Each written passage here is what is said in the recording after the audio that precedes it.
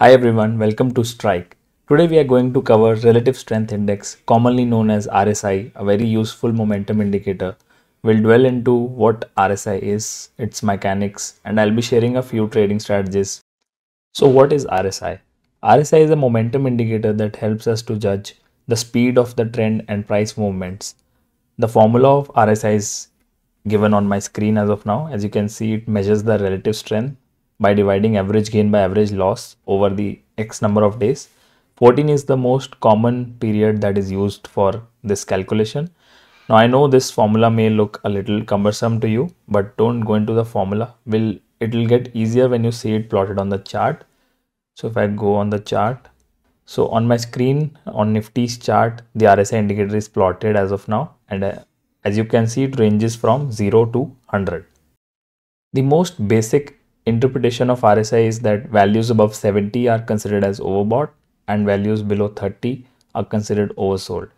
So we'll just try to spot a few examples. So on current chart on Nifty, as you can see, the RSI was above 70 for a few days and it topped at 76 and when we when it crossed back below 70 this that is when the market topped out and at this lower lower end the RSI was 26.74 that is below 30 and from there on we are seeing a good bounce you can see numerous example in the past history as well where the market tops have occurred at an RSI greater than 70 and bottoms have occurred at close to RSI value of 30 or lower. So this is the most basic interpretation that does not make it a rule because price confirmation is very important along with the RSI reading.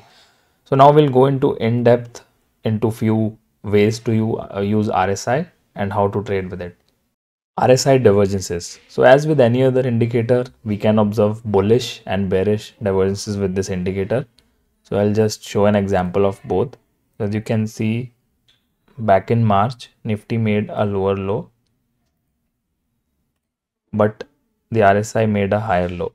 So the RSI did not confirm the lower low that Nifty made, which resulted into a very big move here on the back of a bullish divergence. Now the opposite if this is when price makes a higher high but there is no higher high in the RSI. So we can see that back in September one example is there last year.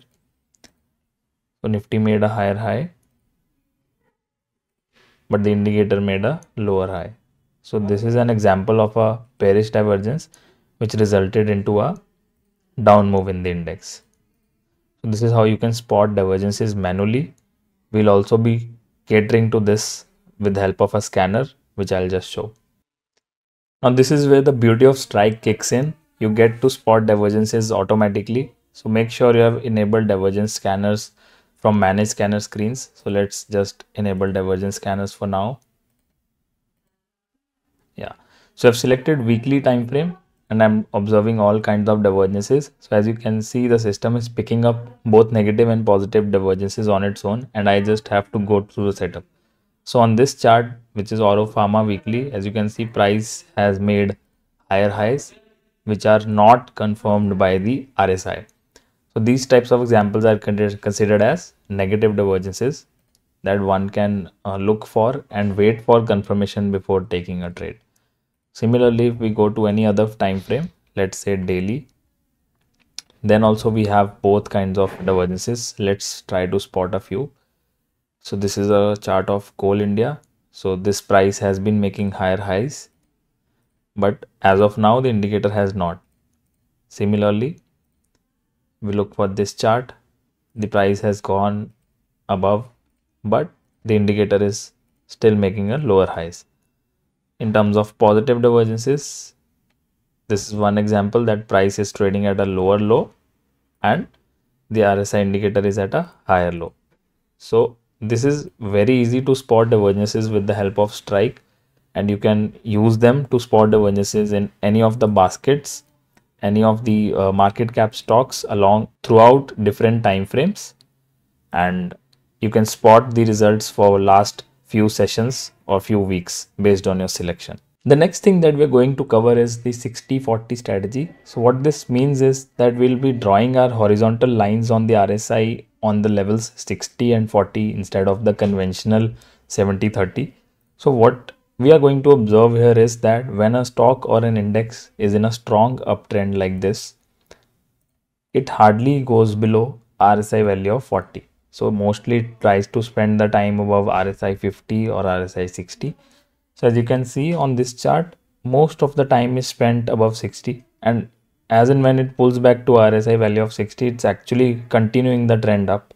And when again it touches 60, again it is continuing the trend up. Again it is pulling back to RSI 50 and again continuing the trend up.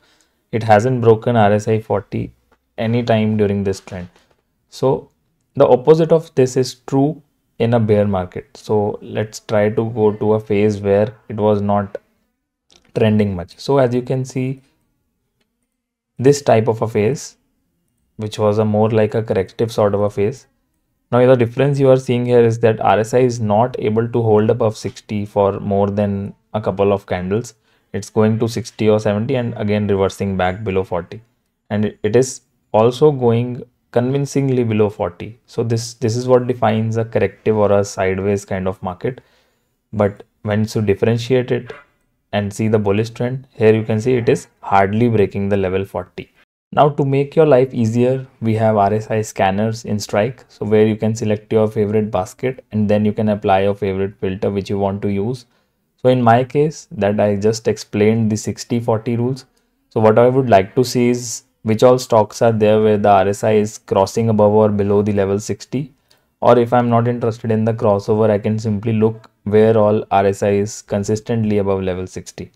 So once I select above level 60 I get to see stocks where the RSI is right now holding above 60. Now what's what's important here is that you should be able to see this across time frames. So if I select weekly time frame now I get weekly stocks, uh, stocks with weekly RSI above level 60. So if I'm seeing a stock consistently above 60 on all time frames, it exhibits a lot of strength.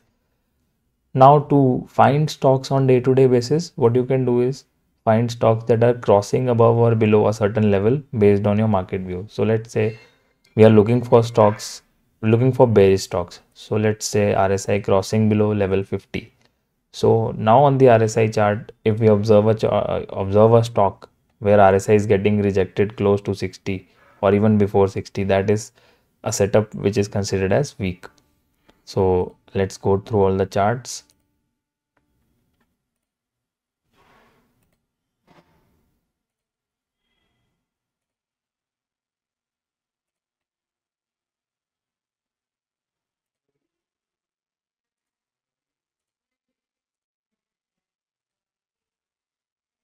So this is a chart you can see RSI is, has gone above 50 only for one day and now it's again breaking 40. And if we even see the history of this chart, it has not been in a trending nature of this stock. So to give you a gist about it, we discussed what RSI is, what's the basic interpretation and different ways to use it, namely the basic overbought and oversold zones, the divergences and the 60-40 strategy. Now there are multiple other ways which with you can use it and you know combine it with other indicators as well to improve the strike rate.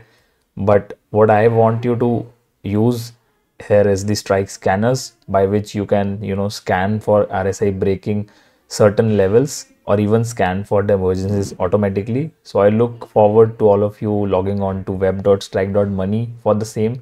And do let us know how the scanners help you in your analysis using the rsi indicator. And also comment down if you like the video and do let us know for further indicators or topics you would like us to cover. Thank you.